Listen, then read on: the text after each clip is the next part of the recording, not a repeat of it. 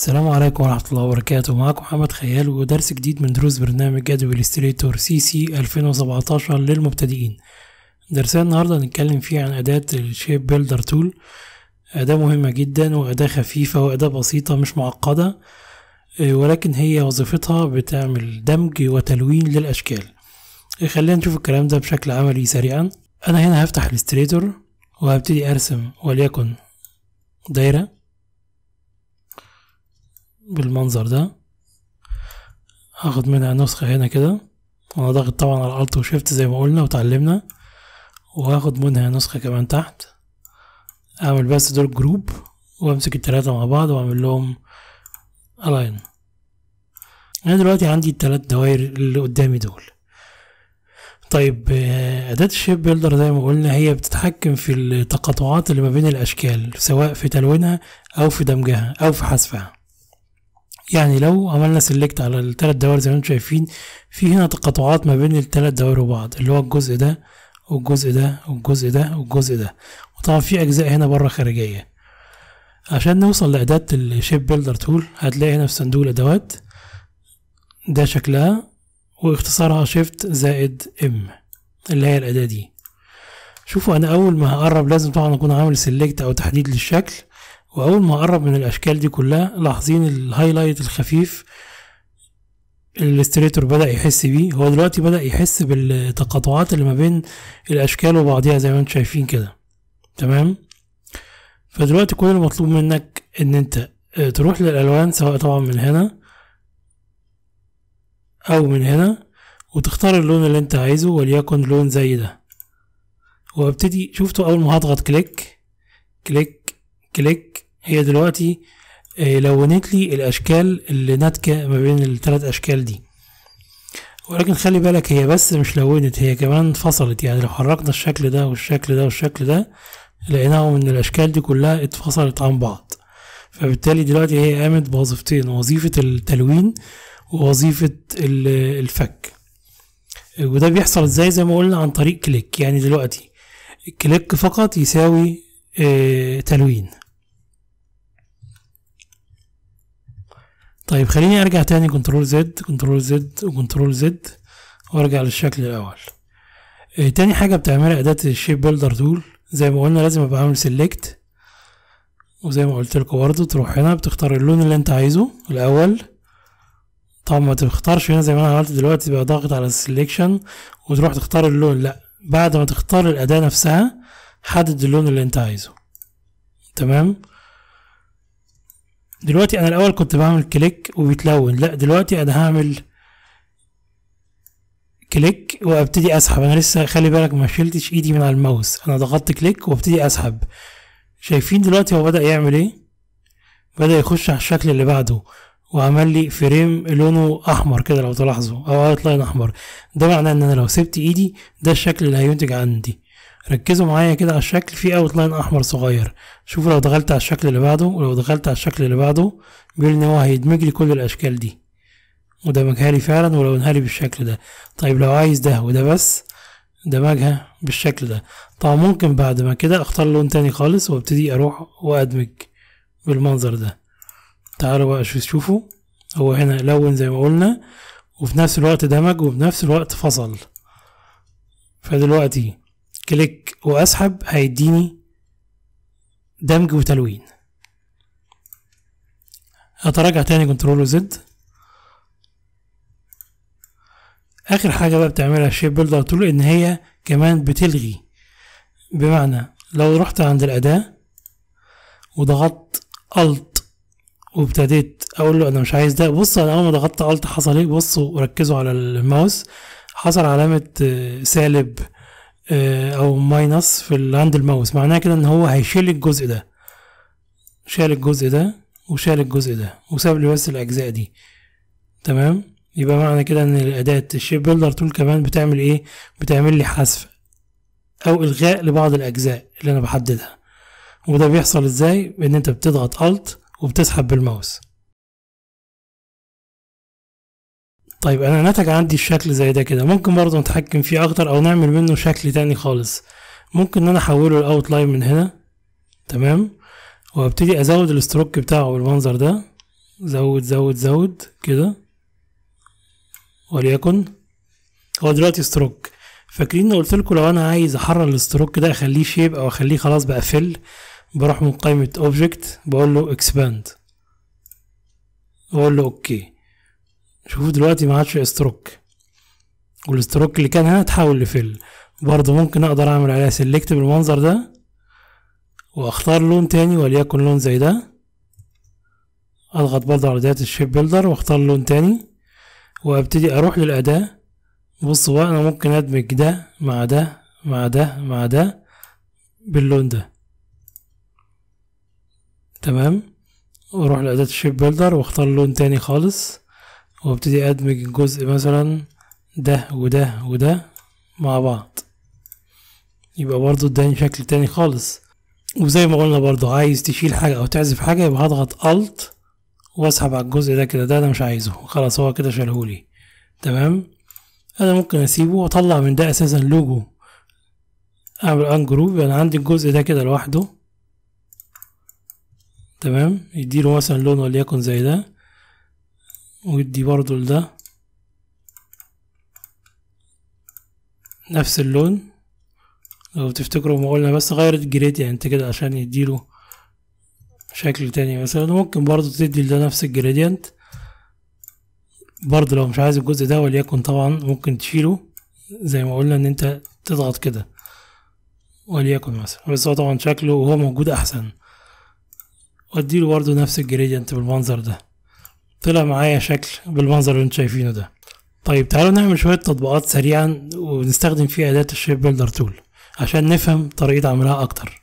لو أنا عندي مجموعة دوائر زي اللي قدامنا دي دي مجموعة دوائر عادية مرسومة بأداة ال circle العادية الدايرة تقدر ترسمها.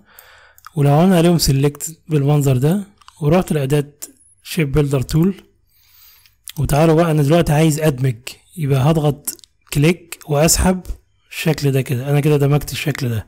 تمام؟ وعايز أشيل الأشكال اللي بره دي أو أحذفها.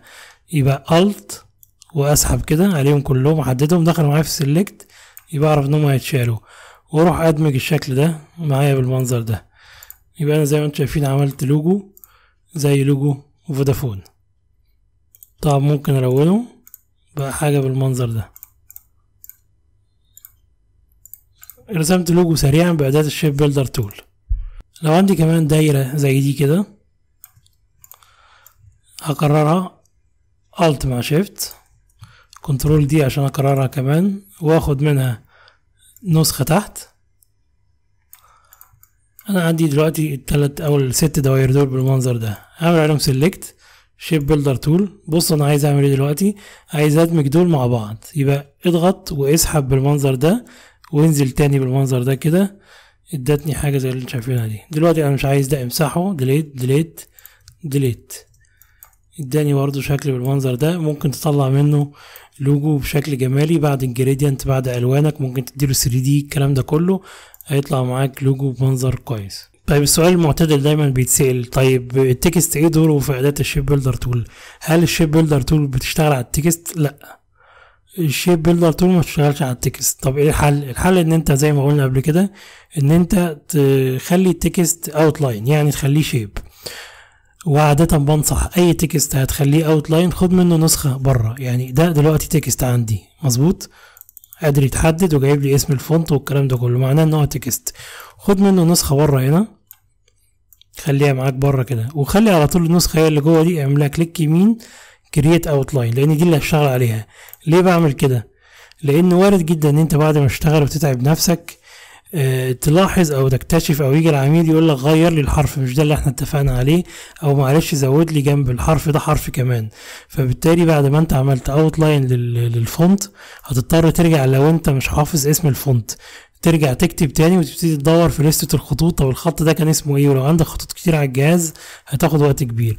فأنا باخد النسخة دي في جنب عندي كده خارج ال artboard بحيث لو طلب تعديل في أي وقت خلاص يبقى عندي text هو طلب مني غير لي دي أو زود لي حرف معاه خلاص بزود بمنتهى البساطة حرف أو حاجة بنفس ال font اللي أنت أو اللي هو قال لي عليه.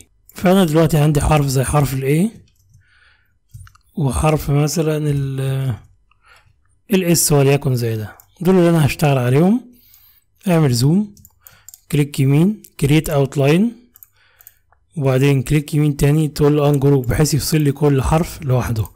أنا دلوقتي بشتغل وبعمل لوجو وبحاول أعمل تكوين من اللوجو ده. فأنت ممكن وأنت شغال بالمنظر اللي أنت شايفينه ده عايز تقرب مثلا وليكن دي من دي بالمنظر ده كده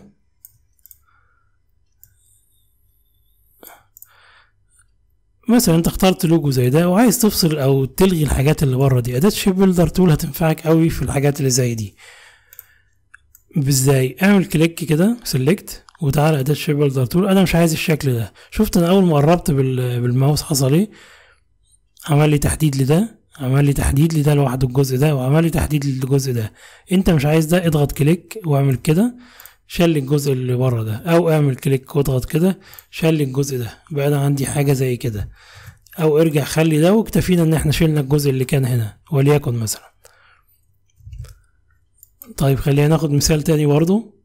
ممكن حرف ال A ده ونكتب معاه حرف ال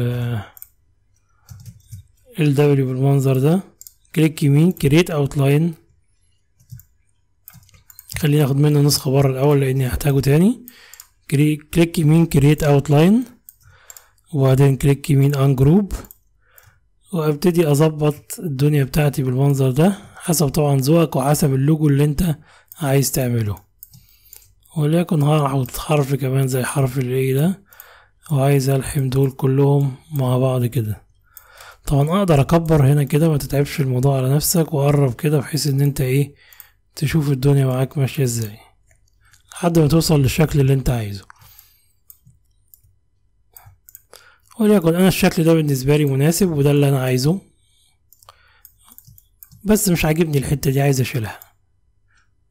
select على كله.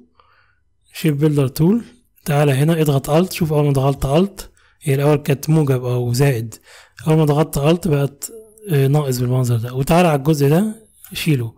مسحه عندي. طيب الجزء ده عندي لسه ده حرف وده حرف. طب أنا عايز أدمجهم مع بعض وماله؟ أعمل كده. وتعالى shape builder click واسحب بقى المرة دي. شفت عمل إيه؟ عمل دمج للشكل ده خلاص.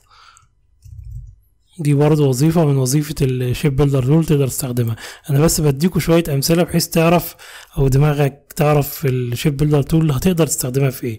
طبعا الباقي كله ده ليك حسب أنت إبداعك وحسب فكرتك وحسب الشغل اللي أنت عايز تطلعه. أنا اخترت font زي ده وكتبت حرف ال B زي ما أنتم شايفين. طبعا زي ما قلنا click يمين لازم أخليها create outline وتعالى مثلا ارسم دايرة بالمنظر ده. ونديها أي لون تاني كليك يمين arrange bring to front عشان أطلع الحرف قدام. وأنا عندي حاجة زي كده. خليني أديها أبيض عشان اللون. طيب أنا عندي منظر زي ده أو شكل زي ده. آه وعايز أخلي كل جزء في في الدايرة ده بلون تاني. يعني إيه؟ شايفين أنا عايز أخلي الجزء ده بلون اللي هو الجزء ده.